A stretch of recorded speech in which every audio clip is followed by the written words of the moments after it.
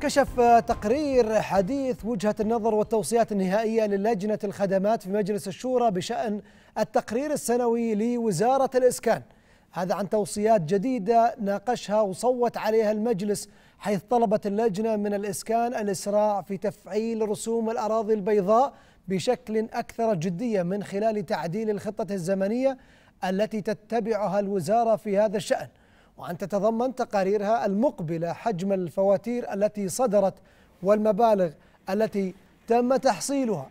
وأتت التوصية الجديدة بعد مناقشة وزير الإسكان تحت قبة الشورى منتصف رمضان الفائت.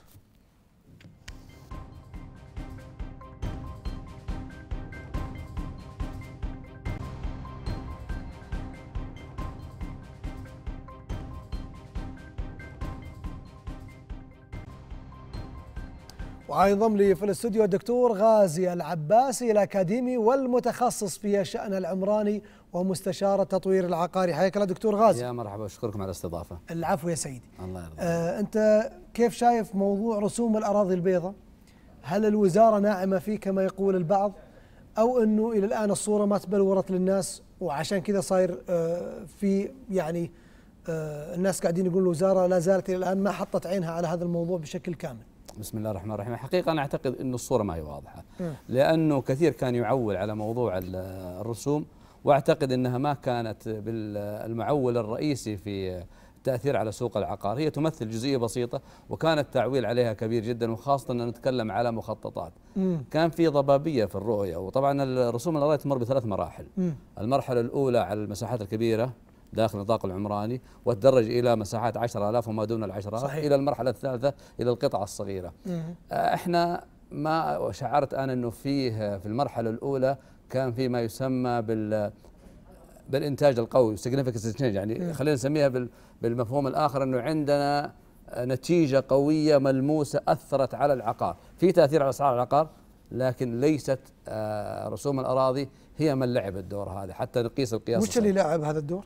طبعا الظروف اللي مرت فيها الاقتصاد حاليا الآن من قلة السيولة مم. وبرامج الرؤية اللي حقيقة ساهمت في تأثير على مثلا خروج الأجانب أثرت بدور كبير جدا على التخفيض في أسعار الوحدات العقارية وبالتالي القوة الشرائية مم. لكن لما نضع الرسوم الأراضي البيضاء على الطاولة. أنا أعتقد نحتاج إلى إعادة دراسة والتأكد من تأثيرها. طبعا ما يختلف ان لها تأثير ولكن لا يكون تأثيرها 90% أنا أعتقد إنه لا يتجاوز 20% أو 10% طيب آه موضوع رسوم الأراضي البيضاء ناس كثير آه كانوا يطالبون فيه آه وجلسوا فترة طويلة يقولون إنه نبغى الرسوم هذه يعني عشان تخفض العقار. أنت كلامك الآن إنه الرسوم ما خفضت كثير لكن الرسوم هل هي أخذت بالكامل عشان أصلا تخفض أو ما تخفض؟ لسه. يعني الناس قاعدين يقول يعني اصبر شوية لأنه الآن الرسوم لسه ترى ما أخذت الا إلا فقط 45% بس. نعم. لا هو خلينا خلينا ناخذ نشوف الرسوم تأثيرها على إيش. إيه. وكيف يقع صور العقار جميل. طبعا إحنا عندنا مشكلة التضخم في السعودية في أسعار الأراضي. م. أسعار الأراضي تبدأ من المطور الاساسي وتنتهي بالفرد العادي. نسبة كبيرة من العقار المنتشر في داخل المدينة يملكه أفراد. فلما تاتي عند مرحلة الرسوم يعني عندنا في السعودية الوسيلة الوحيدة لتخزين المال هي عن طريق شراء أرض أو أرضين أو ثلاث. صحيح. فكثير من البسطاء أفراد الشعب ينطلقوا على شراء أرض إذا جمع فلوس ثانية شراء أرض ثانية على أمل إنه يبيع واحدة ويبني الثانية. فأصبحت هي مستودع للأصول. هذا ابو ابو أبو ارض ارضين إحنا ما نتكلم عنه ولا, ولا لا بس أقصد هم أثروا تأثير كبير جدا في تدخل كل الأحياء. تجد نسبة كبيرة من يمكن حدود 30% من الأحياء. بيت بيتين بينهم أرض فاضية. بيت صحيح. بيتين. هذه تمثل شريحه كبيرة جدا. الجمال هذا يعني الجمال الطبيعي هذا اللي عندنا موجود بكثرة في المدن. نتكلم على الرياض حدود بس المرحلة هذه ما هي داخلة. الصورة هذه ما هي داخلة في رسوم الأرض لا هذه إذا سويت كذا بالحي اللي عندك ابدا ما حد يجيك ولا ولا يؤخذ منك رسوم. لكن إذا خليتها أرض بيضاء موجودة من 20 سنة في نفس الحي ما تحركت هذه مشكلة. بس كانت نسبتها لا تتجاوز 5 إلى 10% هذه طيب حط عليهم رسوم ما عليه هو صح إحنا لأنه أنت تتكلم إحنا عند إحنا عن 5 مليون أحيانا. 5 مليون متر في حي موجودة ما في حد لا هو هو القضية إن نبغى لما تكون عندنا مشكلة نبغى نحل العنصر الأساسي مو الثانوي. يعني اللي يكون له دور كبير جدا. ما تبغى تأتي لمشكلة وتحل ال 20% وتترك ال 80% أنا أعتقد عندنا مشكلة في في التطوير العقاري واحدة منها الأراضي. بس قد الرسوم لن تشعر بقيمتها إلا حتى تنزل إلى المربع الأخير اللي هو القطع الصغيرة. طيب. القطعه الكبيرة لا تمثل الآن إلا 10% من حجم المشكلة. فبالتالي لن نتلمسها. طيب آه, آه، الرسوم الأراضي البيضاء الوزارة قدرت آه تاخذ الرسوم من الجميع ولا الوزارة عندها مشكلة؟ لا أعتقد ما زال في أراضي على ما أسمع إنها لم توثق لعدم تقدم أصحابها وعدم معرفة أصحابها لظروف ما لا أعرف ذلك يعني قد تكون عندنا طبعا الحقيقة الوزارة رابطة مع وزارة العدل يعني ما ما في مشكلة عند الوزارة؟ هو هو تظل الوزارة جهة محصلة وليست جهة بس عندها ربط مع وزارة العدل يعني تعرف هذه الأرض حقت آه، الدكتور غازي عارفة تاريخ حتى الأرض أحيانا. هو ترى شوف الآن وزارة العدل ما بدأت عملية التحويل الصك الإلكتروني إلا لمن يقدم. هي ما حولت الصك ففي أراضي ما زالت آه، يعني خلينا نقول الآن طريق الألف ميل يبطل خطوه يعني لا نستعجل النتائج الآن لأنه أكثر من شريك يدخل فيها. لأنه المشكلة الآن يا دكتور أنه الناس قاعدين يقولون أنه آه، يعني نبغى العقار ينزل. أول شيء بيخف على وزارة الإسكان الطوابير لأنه إذا نزل العقار ونزلت الأسعار آه، راح يستطيع الواحد يشتري له أرض. ومن هنا ومن هنا يبني. يشتري له أرض بالمساحة اللي هو يقدر عليها ب... لكن في الوضع الراهن هذا ما يقدر. أبغى أبو راتب حتى 10000 مشكلة. زي ما ذكرت لك هي هي الإسكان عدة جوانب حقيقة. الأرض تأتي واحدة من إحنا عندنا مشكلتنا في السعودية الأرض كان مستودع سيولة لجميع أفراد المجتمع. صحيح. فساهموا في تعاظم سعر الأرض وأصبحت تمثل إلى حدود 50% من بعض الأحياء من سعر البناء. يعني البيت 50% منه في الأرض. في حين نفترض لا تتجاوز 20 30% والله أكثر.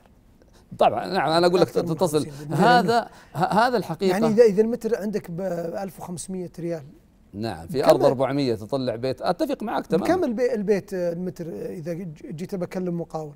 هو تكلم على 1200 إلى 1500 مشطب كامل تشطيب بسيط طبعا ما هو تشطيب إيه راقي لوكس زي ما يقول إيه, إيه. فانت تتكلم إذا عندك بيت أرض 400 طلع لك من قطعة أرض حدود 400 فأنت تتكلم على 1500 والمتر 1500 فأنت تتحدث عن 50% من سعر البيت هذا في الأرض.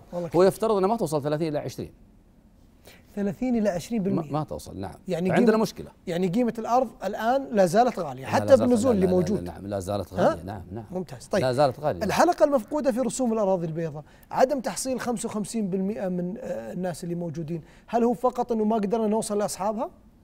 والله أنا ما أدري عن الآلية حقت وزارة الإسكان. أنا أعتقد يوجه السؤال لهم هم بالشراكة مع كتابة العدل يعني. ليش هذول ما وثقوا؟ ليش ما قدموا؟ ليش ما هل وزارة الإسكان ما آه، قصرت في إظهار يعني حدتها في موضوع رسوم الأراضي البيضاء. ما سمعنا تصريحات كثير في هذا الجانب. والله ما أدري. أنا أنا أعتقد إنه يظل وزارة الإسكان هي جهة واحدة يعني م. في جهات أخرى. العدل أقوى منها في الجانب هذا. العدل وش دخلها فيها؟ لا لأن هي من يعرف من يملك الأرض هي من يوثق الأرض. هل أنت كوزارة طلبتني وأنا قلت لك لا؟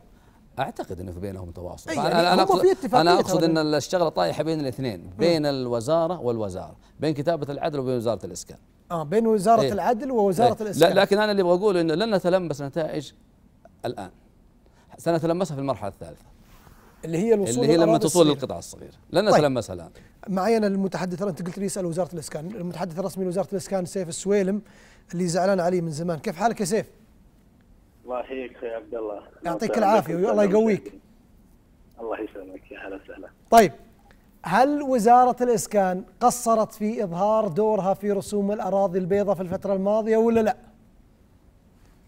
طيب بسم الله الرحمن الرحيم طبعا وزارة الإسكان منذ أن أطلقت برنامج رسوم الأراضي البيضاء آه، حددت مجموعة من الأهداف التي تستهدف تحقيقها من خلال هذا البرنامج آه، طبعا بكل تأكيد تم الإعلان عنها مرارا وتكرارا وهي زيادة المعروض من الأراضي المطورة جميل. آه، بما يحقق التوازن الأمثل بين العرض والطلب في سوق الإسكان أيضا توفير الأراضي السكنية في سوق الإسكان بأسعار مناسبة تتناسب مع آه، مختلف شرائح المجتمع آه، بالإضافة إلى حماية المنافسه العادلة ومكافحة آه، الممارسات الاحتكارية للأراضي السكنية. الله يقويكم. الأمور نسعى من خلالها من خلال هذا البرنامج حتى الآن تم تطبيق النظام على ما يصل إلى 400 مليون متر مربع شملت النطاق العمراني في كل من الرياض وجدة وحاضرة الدمام ومكة المكرمة تم إصدار أوامر السداد لهذه الأراضي على مستوى المدن الأربع.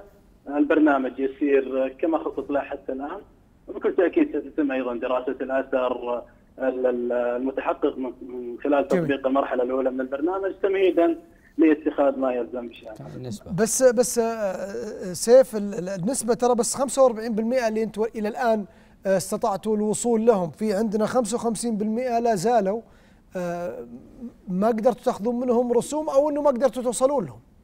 طبعا النسبة غير دقيقة أخي الكريم. لم يعني لم تعلن وزارة الإسكان من قبل آه، عن آه،. تلقي 45% من من من طبق عليهم أو من من أصحاب الأراضي الخاضعة م. لأراضي لرسوم الأراضي البيضاء. آه، النسبة ليست دقيقة كما أسلفت آه، السداد للأراضي البيضاء آه، يسير بشكل جيد وبمستوى عالي. آه، بكل تأكيد ما يهمنا من خلال تطبيق هذا البرنامج هو تحقيق الأهداف الثلاثة التي تم التأكيد عليها والمتمثلة بتعزيز المعروض وتحقيق التوازن الأمثل بين العرض والطلب آه، الرسم هو في حال عدم التزام ملاك الأراضي بالتطبيق نعم. خلال المدة المحددة يتم آه، الحصول على الرسم آه، من قبلهم طيب. بالإضافة إلى في حال عدم الالتزام بالسداد هناك لائحة آه، وهناك عقوبات جميل آه، وغرامات على من لم يلتزموا بالسداد خلال المدة المحددة سيف هل تستهدفون انه إنه تنزل الأراضي من خلال هذه الرسوم؟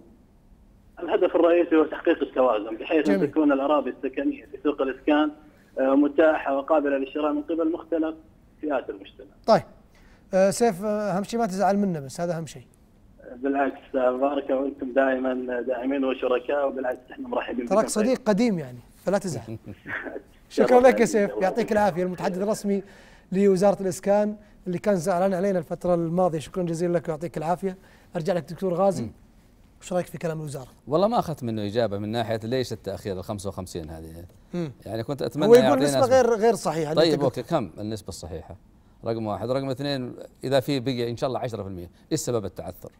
ليش ما قدرنا نوصل؟ ليش ما قدرنا نوصل؟ هذا سؤال حقيقة نحتاج منه إجابة. طيب آه، أنا شاكر لكم مقدر الدكتور غازي العباسي الأكاديمي والمتخصص في الشأن العمراني والمستشار العقاري، ان شاء الله العقاري يتحرك عشان بعد إن شاء الله. آه، تجونا وأنتم مرتاحين أكثر. الله شكرا لك سيدي.